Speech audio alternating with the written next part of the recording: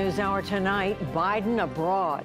The president meets with other leaders face to face to discuss global vaccination efforts and an initiative to increase taxes on the world's wealthiest. Then, questions of justice. How the Trump administration sought cell phone data from Democratic members of Congress and their families.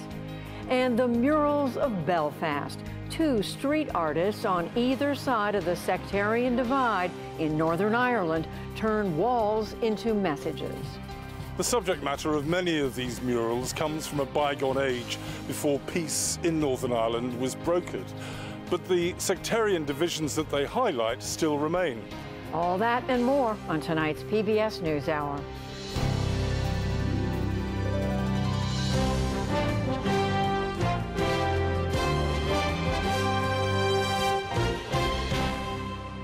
Major funding for the PBS NewsHour has been provided by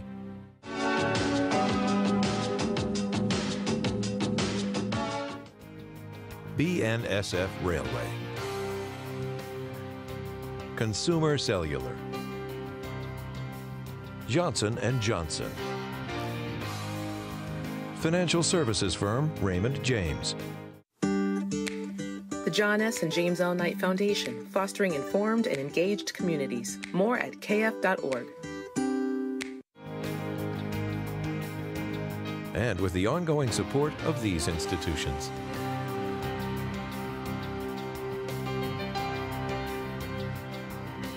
And friends of the NewsHour.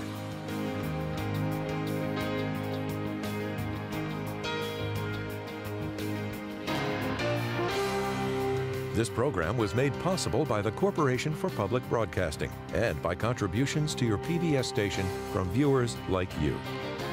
Thank you.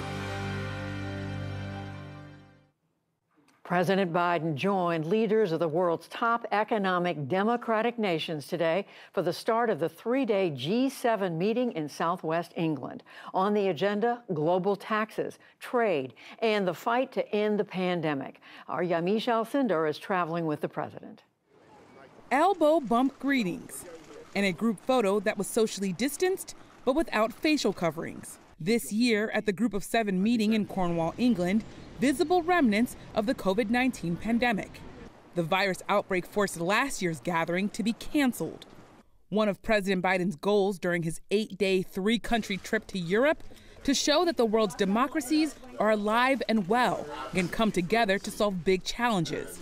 That includes ending the pandemic.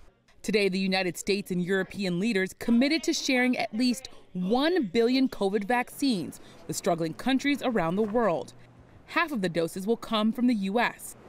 German Chancellor Angela Merkel also noted a distinct change in tone from the previous American administration. He stands for the commitment to multilateralism, which we were missing in recent years. Mr. Biden's attendance today was a sharp contrast to former President Donald Trump's confrontational approach to America's European allies. In just a few minutes, I'll be leaving. During the 2018 G7 meeting, Trump insulted European Union countries over a trade dispute and then left the meeting early. It's a breath of fresh air. After meeting with President Biden yesterday, British Prime Minister Boris Johnson appeared to acknowledge the shift in America's posture. While the president is working to reestablish ties, his team is also eager to press European officials on issues around climate, trade, and China's influence. Today, the G7 leaders endorsed a new tax plan pushed by the Biden team. It raises the global minimum tax for corporations to 15%. That proposal will be refined before possible adoption at the expanded G20 meeting next month in Italy. But overshadowing Biden's meetings with European officials this week and next, his final event, a one on one meeting with Russian President Vladimir Putin in Geneva, Switzerland. Today, President Biden wouldn't say exactly what message he planned to deliver to Putin, but he has made it clear it will be a firm one. Mr. President, what's your message to Putin? I'll tell you after I deliver it. The president is expected to raise a range of issues with Putin, including the ransomware attacks on U.S. energy, food, and other infrastructure coming from criminal gangs inside Russia. And Yamiche joins me now from Plymouth, England. Hello to you, Yamiche. So we know there's still a lot these G7 leaders do not agree on. Uh, how are they trying to work through all that? Well, there was elbow bumps instead of elbow pushing, which is what we saw when former President Trump was at the G7. Um, this was a much friendlier, a much more cordial meeting. That said, there are, as you said, key differences between the U.S. and our European allies. Chief among them is this idea of trade. There are a lot of European leaders who are trying to understand the difference between President Biden's Buy American and former President Trump's America First and Make America Great Again slogans. The other thing to note is that there's this issue of COVID vaccines. We saw today the G7 is going to be donating 1 billion vaccine doses doses around the world, but there was real pressure for the U.S. to step up. And of course, half of those doses are coming from the United States. The other thing experts tell me that's, that's a real issue here is the withdrawal from Afghanistan. There are some who think President Biden did not really talk to his European allies enough ahead of that withdrawal announcement. So there's some real issues to talk to there. And of course, the influence of China among all of these European leaders. And Yamiche, uh, as you as you mentioned, after the the meeting with the G7 leaders. Uh, the president is going to be in Geneva for that meeting with uh, Russia's pre President Vladimir Putin. What do we know about what President Biden hopes to gain from that? Well, President Biden really wants to just show that America is strong, that we're taking a firmer stance with Russia. His predecessor, former President Trump, was seen as too cozy to Russia, including even taking Russia's side when Vladimir Putin was denying meddling in the 2016 election. So there's real issues there. But the White House and White House officials are also trying to lower expectations, saying that there isn't a exact deliverable out of this. They say that they're meeting because of their differences, not in spite of their differences. That's something that we've heard from the White House over and over over again. But there are some real topics to deal with on the agenda, including ransomware attacks that have attacked the U.S. infrastructure system. Um, a lot of those criminal gangs are reportedly based in Russia. Another thing to talk through is human rights issues in Russia um, and, the, and the human rights issues around the world. Um, and the other thing is Russia uh, uh, invading Ukraine. There's some real questions there um, from the from President Biden. So this is a completely different tone from President Biden than what we've seen in the over the past four years with former President Trump, and that White House officials say is the point of this meeting. Well, given all these issues, this uh, fraught relationship, uh, there'll be uh, a lot of attention on that meeting. Yamiche Alcindor, re reporting on President Biden's trip, uh, joining us from England. Thank you, Yamiche. Thanks so much, Judy.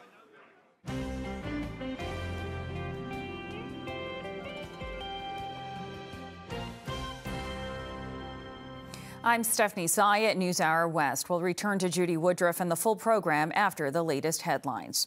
The U.S. Food and Drug Administration will allow 10 million doses of the Johnson & Johnson vaccine from a troubled Baltimore factory to be released for use, but about 60 million doses will be thrown out. The factory, owned by Emergent Biosolutions, was shut down in mid-April for cross-contamination, unsanitary conditions, and other problems. For the record, Johnson & Johnson is NewsHour funder. And in California, Governor Gavin Newsom signed an executive order that would lift most of the state's coronavirus rules. The order includes ending the stay at home order and removes capacity limits and social distancing requirements. The changes take effect next Tuesday. Tonight, Apple announced it has tightened rules for legal requests from the Department of Justice after reports that the department under President Trump subpoenaed information tech companies had on Democratic lawmakers. The Justice Department Inspector General has launched an investigation into reports that the Trump administration secretly seized the phone data of the lawmakers and journalists. Included were top critics of Trump, including House Intelligence Committee Chairman Adam Schiff and California Representative Representative Eric Swalwell. The Trump administration was seeking to find the source of leaks in the Russia investigation. We'll have more on this after the news summary. Meanwhile, U.S. Attorney General Merrick Garland pledged today that the Justice Department will aggressively defend the nation's voting rights. He made that vow as a number of Republican led states are passing more restrictive voting laws. Garland said he won't hesitate to act if he sees any violations. That means ensuring that all eligible voters can cast a vote, that all lawful votes are counted, and that every voter has access to accurate information. The Department of Justice will never stop working to protect the democracy to which all Americans are entitled. Meanwhile, in Nevada, Democratic Governor Steve Sisolak signed a bill into law that expanded voting access, including making voting by mail permanent. A separate bill would abolish the state caucuses and make Nevada the first state to hold a primary in 2024, ahead of Iowa and New Hampshire. But the national political parties would have to agree to the new calendar. The United Nations human rights chief warned violence in Myanmar is worsening amid a military buildup. Today in Geneva, a UN spokesperson cited reports that the military is now shelling homes and churches while blocking access to aid. In just over four months, Myanmar has gone from being a fragile democracy to a human rights catastrophe. In addition to the loss of life, people are suffering from severe impacts on their social and economic rights. The military leadership is singularly responsible for this crisis and must be held to account. And this year's Pulitzer Prizes were awarded today. The Minneapolis Star Tribune won for its coverage of the killing of George Floyd. Darnella Frazier, the then teenager who recorded a video of Floyd's death, was awarded a special citation. The New York Times was honored for its coronavirus reporting. Louise Erdrich's novel, The Night Watchman, took the prize for fiction. And one of our special correspondents, Nadia Drost, won for her coverage of migrants crossing the Darien Gap for the California Sunday Magazine. Still to come on the news hour, new battle lines being drawn that could sway the balance of power in Texas. David Brooks and Jonathan Capehart weigh in on the president's first trip abroad. Two street artists on either side of the sectarian divide in Northern Ireland turn walls into messages, plus much more.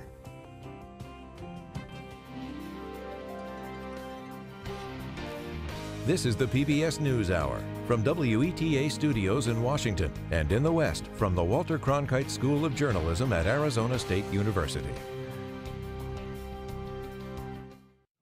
The Justice Department's Inspector General announced today that he is investigating the Trump administration's secret seizure of communications data of at least two congressional critics. John Yang explains.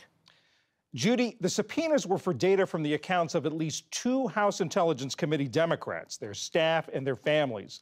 Both lawmakers are sharp critics of Trump. Adam Schiff, who was the panel's top Democrat and now its chairman, and Eric Swalwell. Adam Goldman covers the FBI for the New York Times and was on the team of reporters that broke this story last night and among the Times reporters whose records were seized by the Justice Department.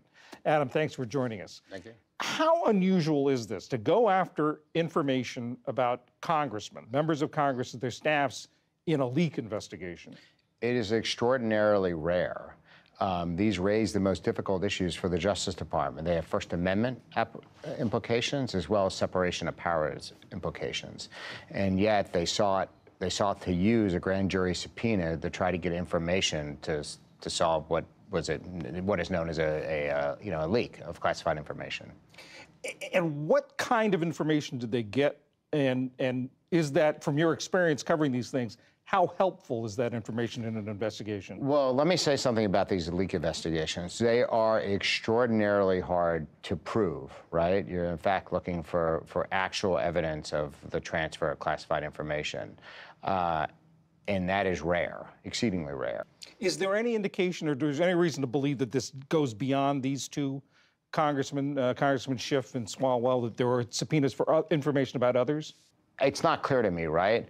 Um, you know, we have thoughts about what they were investigating, and of course, it was highly classified, so it meant it would have been compartmentalized, and only a certain a, a certain number of people would have known about it, I believe.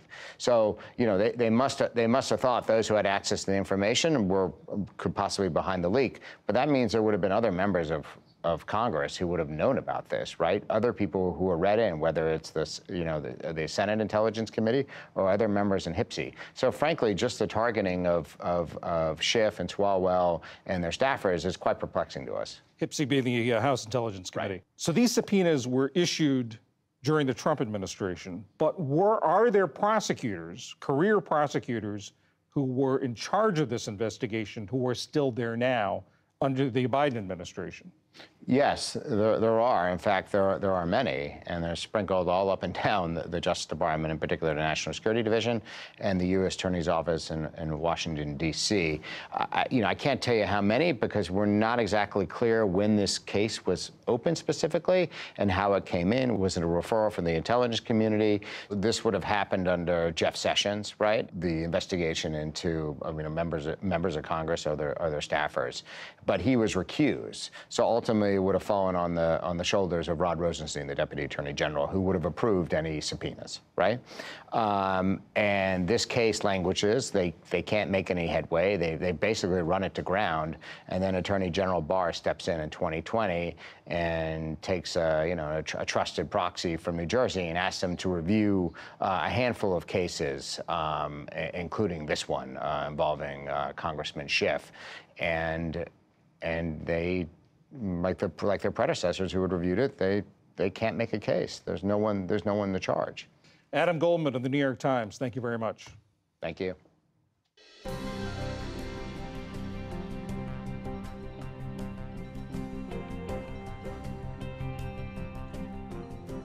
State legislatures across the country eagerly await new census data that would affect the redrawing of congressional district lines. One state that has a lot at stake is Texas. Lisa Desjardins has more. The Lone Star State is gaining two congressional seats thanks to population growth, largely fueled by communities of color. But they may not be the ones benefiting from the redistricting fight currently underway. Covering this is our political reporter, Daniel Bush. He is in Houston.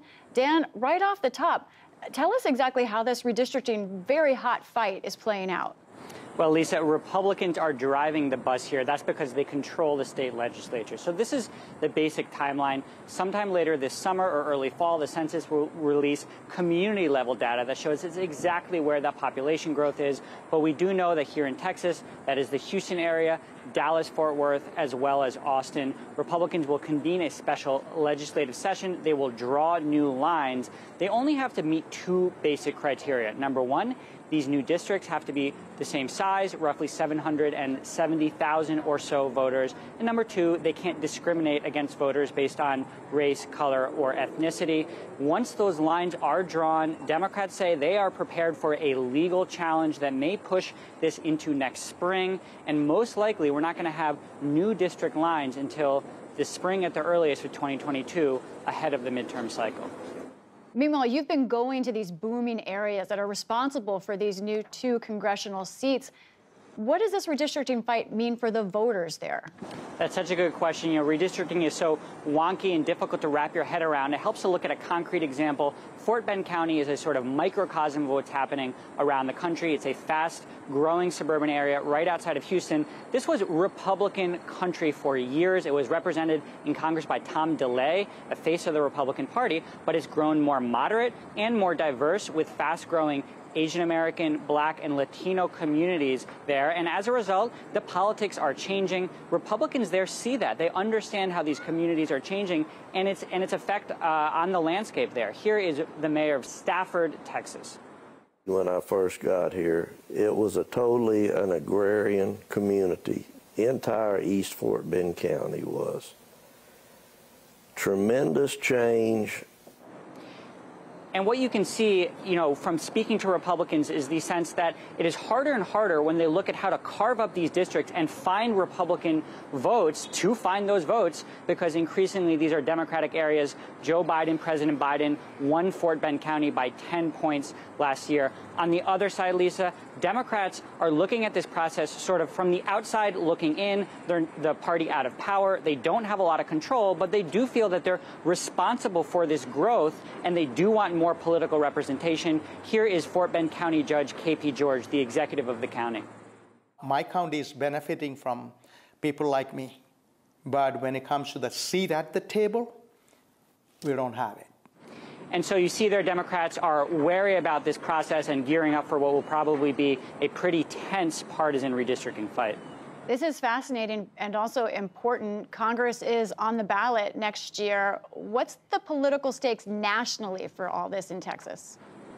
Republicans only need to pick up five seats to win back control of Congress. So they look at Texas as a place where they can gain a couple of seats. It's very important. And then, of course, nationally, what the census showed us, Lisa, is that states in the Northeast are losing population. People are moving to the South, the Southwest, uh, and those areas, which used to be Republican states, Republican strongholds, are becoming more and more competitive. So the landscape is shifting.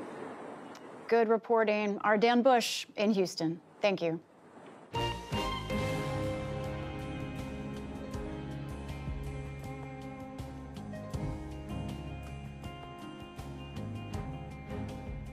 And to the analysis of Brooks and Capehart. That is New York Times columnist David Brooks and Jonathan Capehart columnists for the Washington Post, and they are in person here with here. me. I can touch you actually we are in the studio. This is exciting. Uh, I, have got to figure out how I'm going to get through this conversation. so um, weird to be doing it while wearing shoes. It's unusual exactly. Instead of our house slippers. Um, so much to talk about. And Jonathan, let's just quickly pick up with where Dan Bush left off. Texas, uh, really important decisions for them to make about these new districts. They've got to figure out how to draw those lines. What is at stake here with the Congress so evenly divided? What's at stake here? What's at stake here is the majority for the Congress. Uh, whether the excuse me, whether the, the Democrats will maintain their very slim majority or as a result of redistricting, not just in Texas, but around the country, whether the, the lines will be drawn in such a way that gives an advantage to Republicans going into the 2022 midterms before a vote has even been cast. And, you know, with Texas, um, the influx of people, the population growing, a lot of them in the urban centers that went for Democratic candidates, and yet the way the districts can be drawn, the, that voting power very well might end up resulting in districts that would be drawn for Republicans to do better in. So, what? How can Democrats counter this, David? I mean, what? How do you see this shaking out, uh, given what's going on in Washington? Yeah, I, I think prayer would help. Uh, you know, I, I, think you know the Democrats I talk to want to maintain the House; they don't expect to. Uh, as I would, they would, somebody said it would take a miracle. Miracles could happen, and it could happen. But it, you know, in midterm elections, the, when one party controls both houses of Congress and the White House, then their records in these first midterms tends to be terrible. Uh, and then there's the population shift, which we've been hearing about. That by itself is probably enough to get the Republicans four, five, six, seven seats.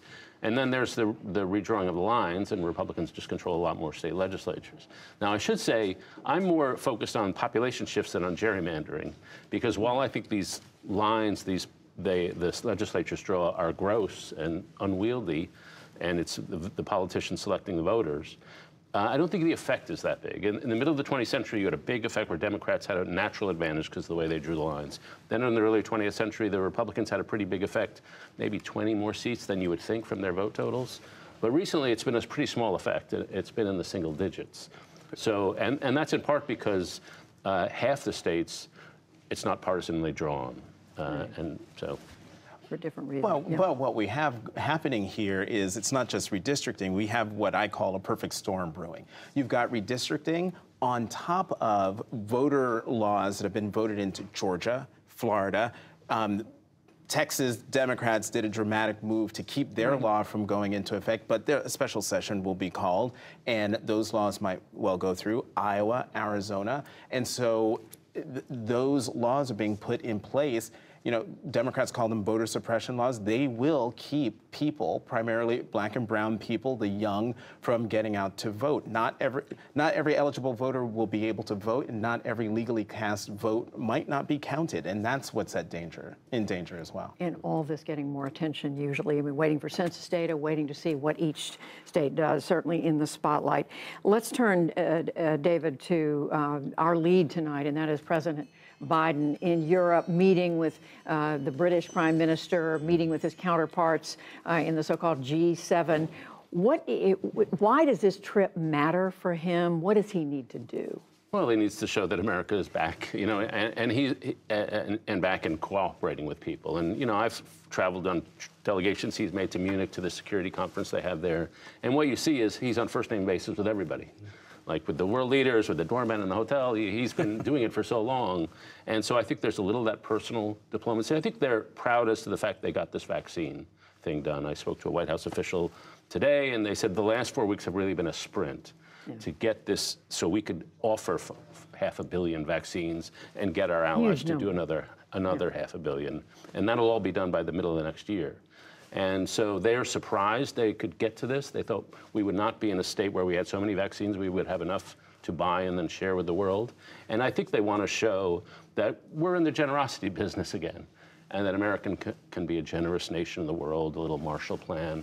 And I think they'd love to get to a spot where uh, it's not a nation by nation fight against COVID, it's a little more of an independent global fight against COVID. And so they're pleased with that. They're under no illusions that American or uh, European relations are going to go back to the way they used to be in the Cold War. That's not huh. going to happen. But, um, but they, are very pleased, and I think legitimately so. How do you see the way? What, do, what is at stake for, for Biden and his, and his agenda here and globally? Well, I think, you know, to your point, the president knows all of these people. He was a senator for 36 years, vice president for eight years. Yes, he is on a first name basis. His mantra is America is back. But you know, there's a a, a, um, a piece in I think it was the Times of London asking the question, okay, you know, but do the words match the deeds? And I do think that there's some skepticism in Europe about whether the president's um, focus on China whether that's taking attention away from them, whether the president, President Biden is continuing former President Trump's policies vis-a-vis China. Think of, of tariffs, yes. and then other things that uh, President Biden is doing that former President Trump talked about withdrawing from Afghanistan. So I think what we're seeing, yeah, it's not going to go back to, to the way it was. And I do think that the world now is like they're happy the United States is back in the fold. But I think they've figured out over the last four years we can't really depend on the United States especially when it comes to President Biden's mantra is also democracy. We have to show that democracy works. But those world leaders are watching what we're doing here. The last conversation we had about voting rights. How can you have a democracy if voting rights are at risk? So it, it's, it's, David, it's the pandemic that has shifted the landscape, of course, but it's also the Trump, the four years of Donald Trump. Yeah, of PTSD. They've got whatever post-traumatic Trump is, uh, you know, they, they wonder if this four years is an interregnum and that Trump will be back. They wonder if the Trump-like figure will be back. And so they, there's some sense America is fundamentally less stable. And then we are more America first. I mean, Biden is not as America first as Trump was. But, you know, you look at our purchasing decisions as a government, it's America first. And we're just living in a world where multilateral co cooperation is less emphasized, frankly, from a lot of countries all at once. And that has just been a trend of the last 25 years as nationalism has become a stronger force in the world and across the West than in Asia. Uh, and somehow there's just been a deterioration in our willingness to cooperate on a whole range of fronts. Harder, in other words, Jonathan, I hear you saying this is harder than uh, one might have expected coming out of Trump and President Trump and assuming everything was going to be easier uh, for, for President Biden globally. Right, harder, but I think for, from President Biden's perspective, um, for someone who knows all of these people, I think he's counting on and banking on the fact that those relationships will help smooth over some of the, the harder things that they have to deal with. And you know what? If I were President Biden, I would, you know, think that my chances, my odds were, were good. Not great, but good. We've been on a lot of calls with Biden administration officials, and they're weirdly normal. It's like democracy's in crisis, the world's falling apart, right. but they're like, as if it's like 1955. It's like, you know, everything, we'll cooperate, we'll compromise, we'll have these civil discussions. And I don't know if they're just putting that face on that it, we live in a normal world anymore, but they're very normal. I think they would probably say, yeah, they are very normal. But I, what I take from that is, you know what? These are these are people who are competent you know, they've been in these jobs before, they know what the pitfalls are, and they also know that everything is on fire, but at least they know the terrain.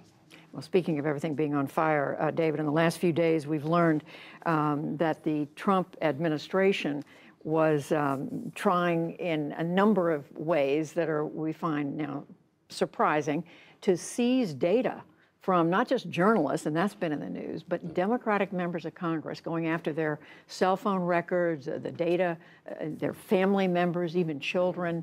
Um, we've now got an investigation underway. What does this tell us about what what was going on uh, under President Trump. Yeah, the Trump Justice Department keeps looking worse and worse, uh, even more worse than it was when it was in office. I mean, you know, when there's a leak of confidential information, there's going to be an investigation. We understand that. But they tried an investigation. They didn't dig up anything on the people they wanted to get, Adam Schiff and people like that. And so they relaunched another investigation using extremely aggressive means. And, you know, prosecutors or investigators have have some discretion over how aggressive they're going to be. And I would say they got so aggressive, not only so aggressive that it's super invasive to those of us in the media and people in Congress, but it just looks like a political witch hunt. And Donald Trump is out there in public saying Adam Schiff should be investigated. And lo and behold, the people in the Justice Department take political orders.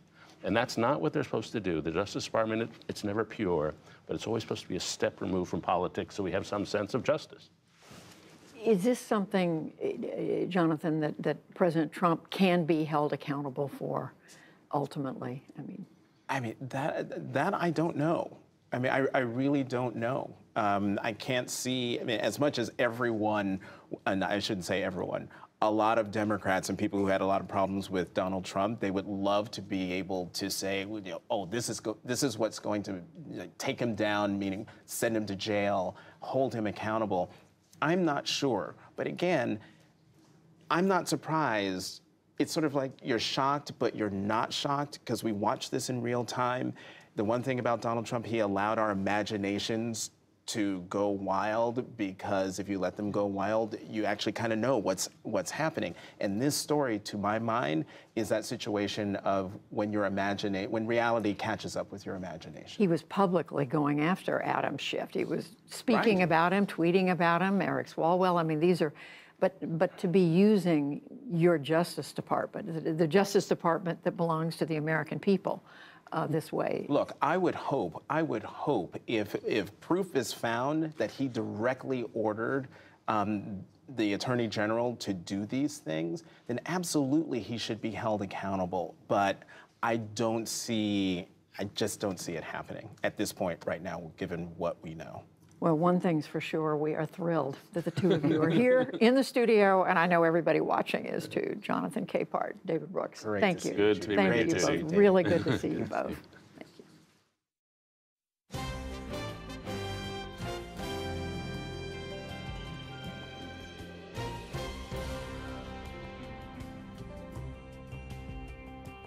Walls have a deep history in Northern Ireland. Belfast has been the scene of violence between Protestants and Catholics going back decades.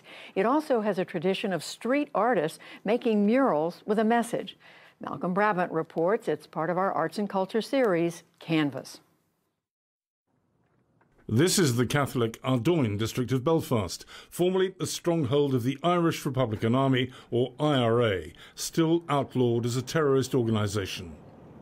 Two artists are memorialising 15 year old Danny Barrett in the hope of getting justice 40 years after he was killed. There's no sort of political element you know, like I say, it's just a group of friends, family and friends who were with Danny on the day, just wanted to something to remain because they feel it, nothing's ever been done for them. And when people come into this area, when they come around and see this, they're going to ask questions, so what's this about, you know? And then they're going to be told this was about a young lad who was sitting in his garden wall doing absolutely nothing, and a British soldier decided to shoot him dead.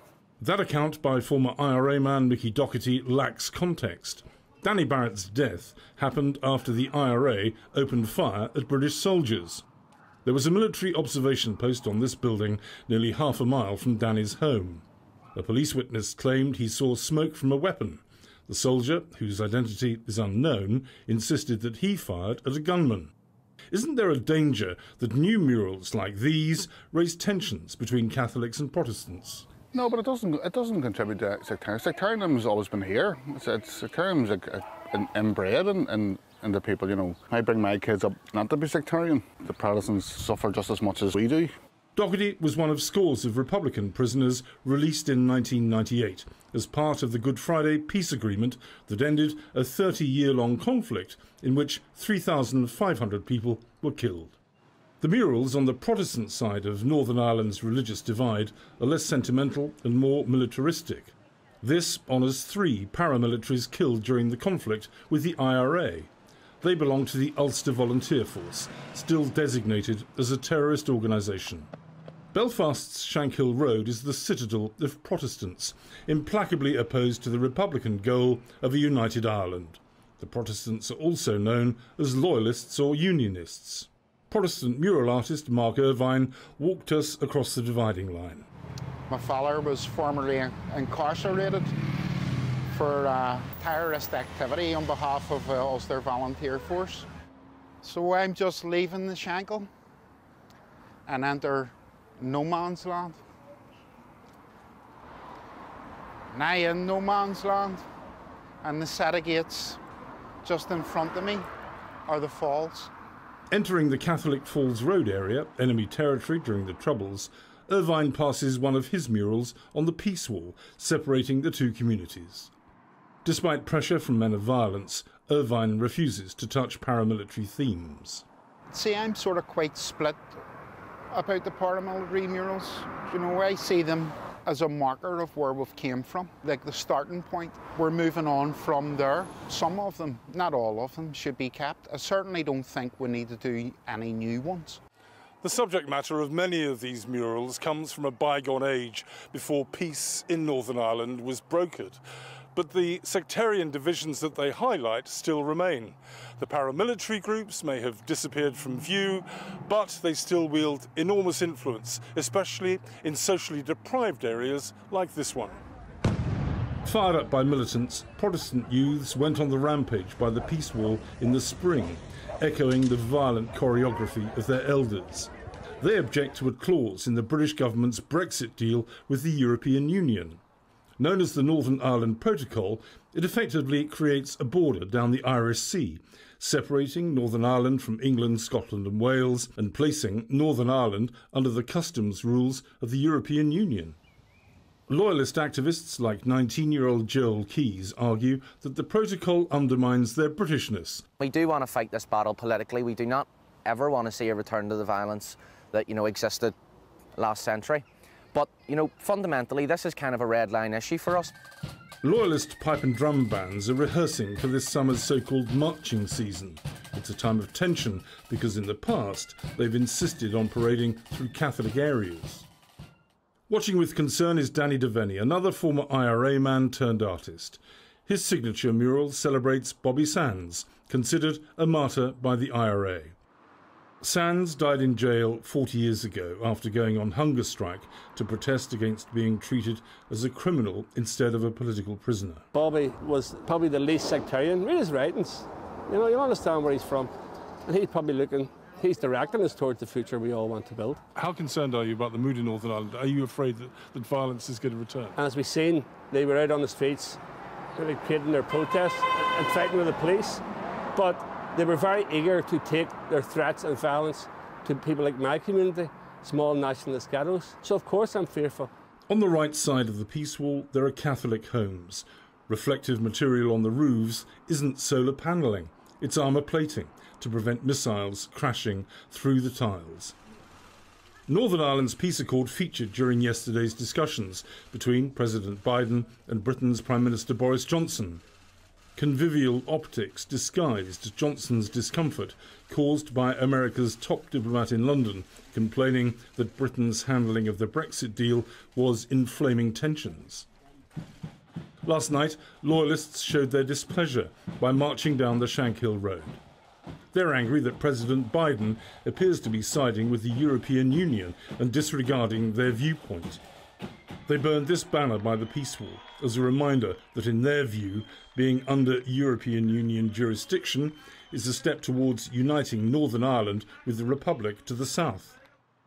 As he paused painting his latest work of art, Mark Ervine warned politicians to beware the consequences of the Brexit deal. Britain and Europe need to be very, very careful that they don't reignite the tinderbox. I think President Biden could do a lot of good things for the people here regarding commerce, but I think he should really keep his nose out of the politics. I don't see him as an ally or a friend. people are really frustrated. I would hope that the unionists and the loyalists wouldn't engage in violence, but you know, the other side have made very clear that they're prepared to, to use those tactics to get what they want, and so we have to keep that on the table as a means to defend ourselves if it is necessary, and we will do so. Our young people need to set, step back and just say, if they want to riot, let them riot. But I'll tell you now, we will have people on the streets, we'll have our community workers on the streets, we'll have our local representatives on the streets, at them interviews, stopping young people. Every evening, the peace gates separate Belfast's Catholics and Protestants until morning. If the worst happens, this could become a front line once again. More than once, where the peace process, if you use a boxing analogy, has been stunned and rocked, but never went down. And I think this is just another one of those moments. I think we've came too far to want to go backwards, you know. I don't think anybody wants to go back. Most normal, sane people.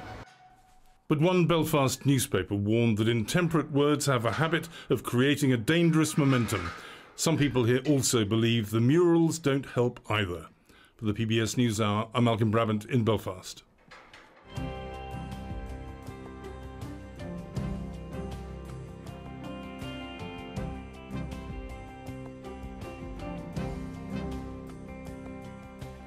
The global death toll from COVID this year has already surpassed that of all of 2020, with many poorer nations now bearing the brunt. Still, here at home, families continue to lose loved ones to this pandemic. We pause now to remember some of them. Adam Frum inspired and encouraged his students as a teacher at a Jewish day school in Davie, Florida. His father said he always wanted to help others. 34 years old, Adam had a young son of his own, whom he loved dearly. Adam's school established a $100,000 scholarship in his honor, a reflection of the lives he touched. It was her eyes and smile that Reginald Brinkley remembers most about his wife, Maisha Oni Mohammed Brinkley. They were married for 24 years. She always put others first, he said, and if she saw a problem she could fix, she'd fix it. She became a respiratory therapist to help her daughter, who struggled with asthma, and spent her final months caring for COVID patients in Dallas. She was 43. David Anthony Kraft was creative and meticulous, his wife told us. As a writer for Marvel and DC Comics in the 1970s and 80s, he brought subtlety and humanity to characters like She Hulk and the Defenders, she told us. David counted comic book legend Stan Lee as a mentor and also wrote for television and rock magazines. He went on to settle in Clayton, Georgia, where he got married and had a son. David worked on his latest project, a comic book series about a 16th century Korean admiral, up until two days before he died. He was 68. 63 year old Amalia Ugbegai Backleg was known as Mama Amy at the hospital where she worked in West Covina, California. Her daughter said nursing was her calling, and she worked night shifts for almost three decades, including during the pandemic. Amalia's husband, Nestor, was her high school sweetheart. They moved from the Philippines to the U.S. in her 20s and had three children and two grandchildren. Her daughter told us their house was always full of music, friends, and family. Greg Houskey had a gift for connecting with middle schoolers, his daughter told us. He taught physical education and health, coached sports, and volunteered at Wilson Middle School in Yakima, Washington for 20 years. Greg was also the biggest cheerleader for his five children, on and off the field, family said. He loved spending time outdoors. Santa! Especially skiing with his wife, Rosie. He was 49. And we thank family members for sharing these stories with us. Our hearts go out to you as they do to everyone who's lost a loved one in this pandemic. And we'll be back shortly with an extraordinary story elephants on the march across China, but no one knows why. But first, take a moment to hear from your local PBS station. It's a chance to offer your support, which helps to keep programs like ours on the air.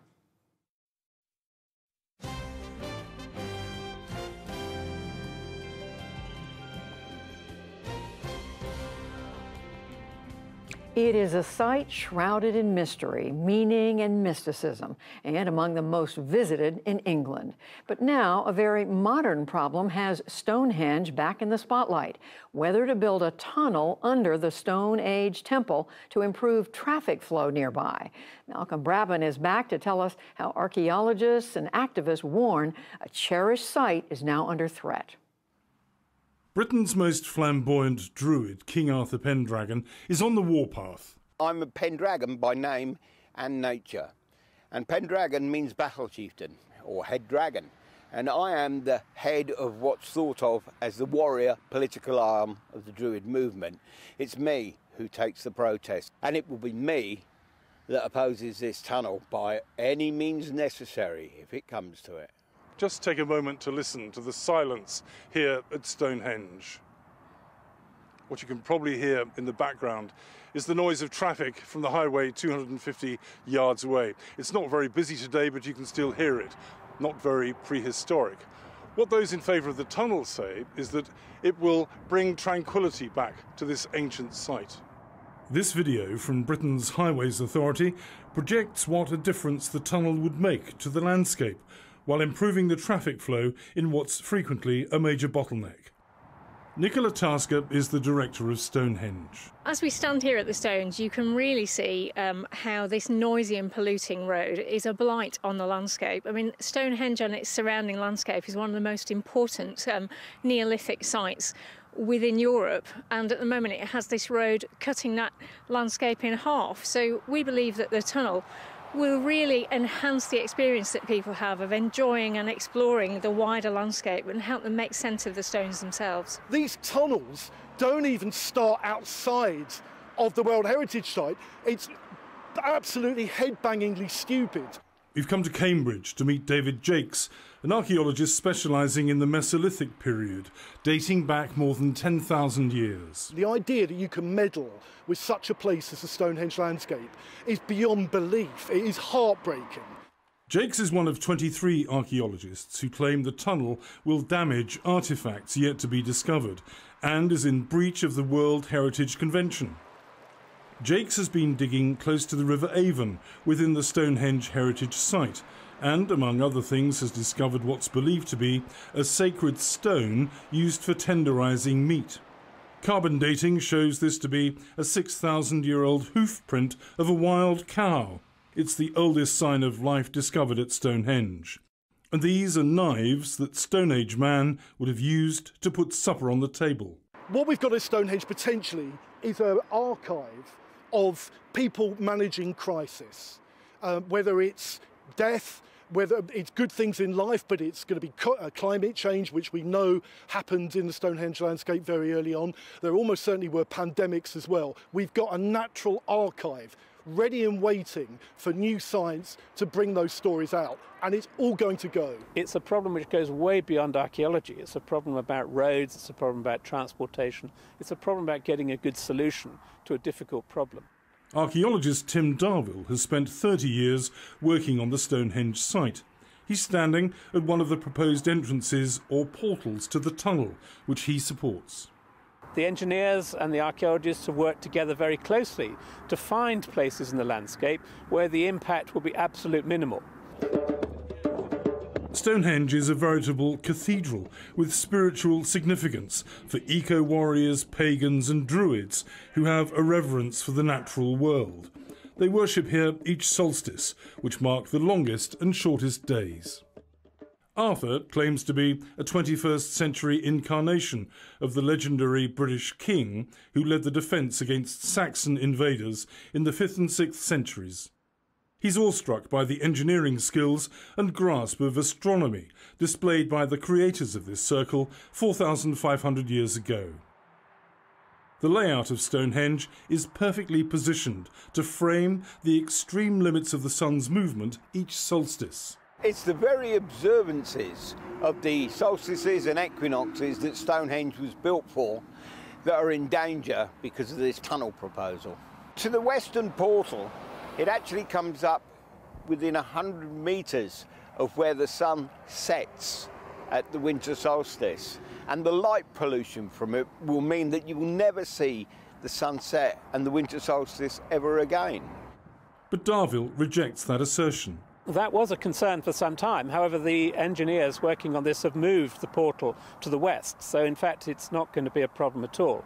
The battle for Stonehenge will come to a climax soon when judges meet to decide whether to overturn the government's approval of the tunnel project please do something about it and save this landscape. Because if a country like Great Britain lets UNESCO and World Heritage State status treaties down, we can't expect countries that are poorer than us to uphold those standards. Stonehenge director Nicola Tasker admits she's concerned about the judicial review. If the scheme doesn't go ahead as a result of that, it would throw this precious landscape back into probably decades more of uncertainty. And the problems that the road presents in terms of pollution and noise will only get worse. In 2019, before the virus killed off global tourism, it attracted 1.6 million visitors. If and when it reopens, it could be embroiled in mass protests the ancestors that are buried in this sacred landscape should not be disturbed. You wouldn't dig your granny up from that churchyard, so what makes you think you can do it here? It would be a mistake to dismiss Arthur Pendragon's battle threats. He has a well documented record of effective direct action in eco protests. The next stage of Stonehenge's turbulent history is just a solstice away. For the PBS NewsHour, I'm Malcolm Brabant at Stonehenge.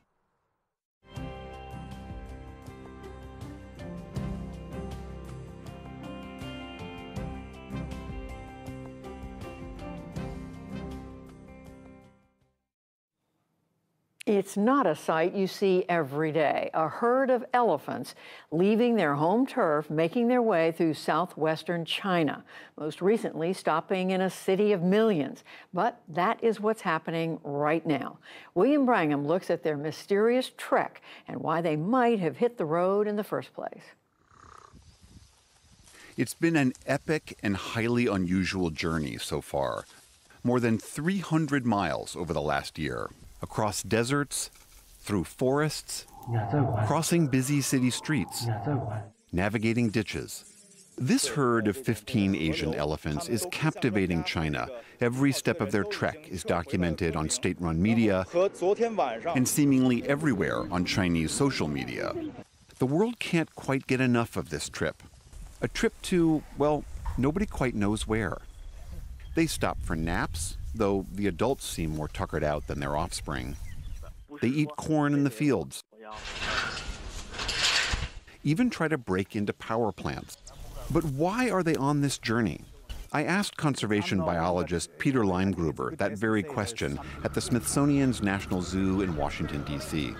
We don't have a clear answer, um, but I think that we have some, some guesses, ideas. Usually these elephants move when they're being disturbed by people or when they lose their habitat or when they're trying to find food. So they might move out of the forest into the agriculture and, and find um, some food there. But they usually don't move dis distances that are as long as this. Is that right? So this, the, the length of their journey is unusual. That's the most unusual piece. So it's very common for elephants to leave the forest and move into agriculture. But it's very unusual for elephants to move in a straight line distance for hundreds of miles or kilometers. Leimgruber has studied Asian elephants for decades and took us in for a closer look.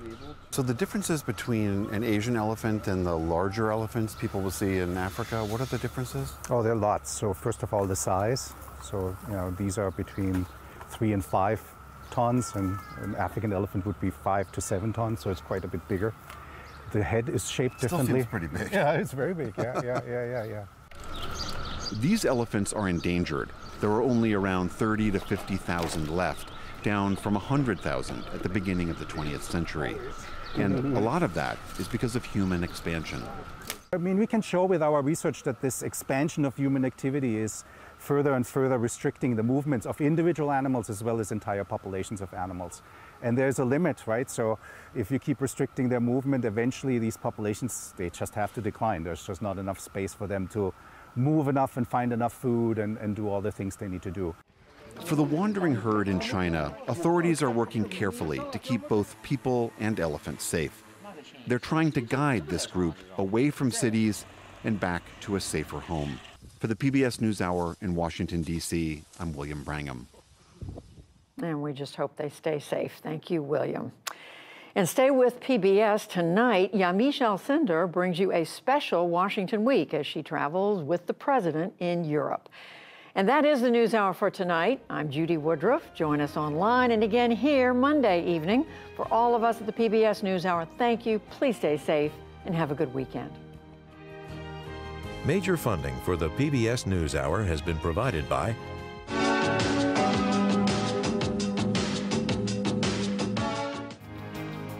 Consumer Cellular, Johnson & Johnson, BNSF Railway, Financial services firm Raymond James, the William and Flora Hewlett Foundation, for more than 50 years advancing ideas and supporting institutions to promote a better world. At hewlett.org. Supporting social entrepreneurs and their solutions to the world's most pressing problems. SkollFoundation.org. And with the ongoing support of these institutions.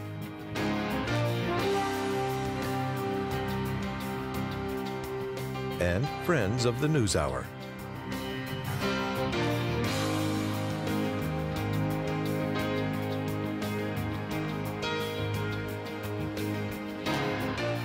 This program was made possible by the Corporation for Public Broadcasting and by contributions to your PBS station from viewers like you.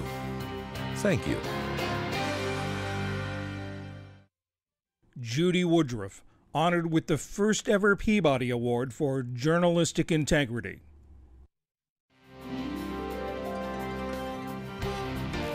This is PBS NewsHour West. From WETA studios in Washington and from our bureau at the Walter Cronkite School of Journalism at Arizona State University.